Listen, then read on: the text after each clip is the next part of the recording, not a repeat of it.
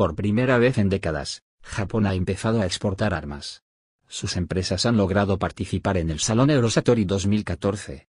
El consejero del primer ministro nipón explicó que el cambio del rumbo político se debe a la política de Estados Unidos. En abril pasado el primer ministro, Shinzo Abe, puso fin a la prohibición de cuatro décadas de venta de armas y equipos militares japoneses.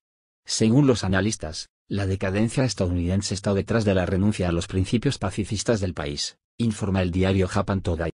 Trece empresas japonesas lograron participar en el Salón Eurosatori 2014 en París, instalando su pabellón ahí por primera vez.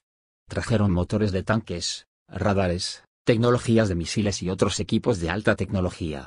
Aunque a pequeña escala, la delegación fue una de las señales más claras de que los contratistas militares de Japón están ardiendo en deseos de negociar tras la sorpresiva decisión del primer ministro, Shinzo Abe.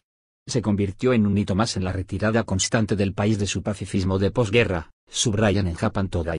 Trece empresas japonesas lograron participar en el Salón Eurosatori 2014 en París, instalando su pabellón ahí por primera vez.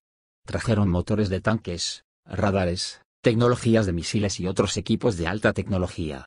Aunque a pequeña escala, la delegación fue una de las señales más claras de que los contratistas militares de Japón están ardiendo en deseos de negociar tras la sorpresiva decisión del primer ministro, Shinzo Abe. Se convirtió en un hito más en la retirada constante del país de su pacifismo de posguerra, subrayan en Japan Today.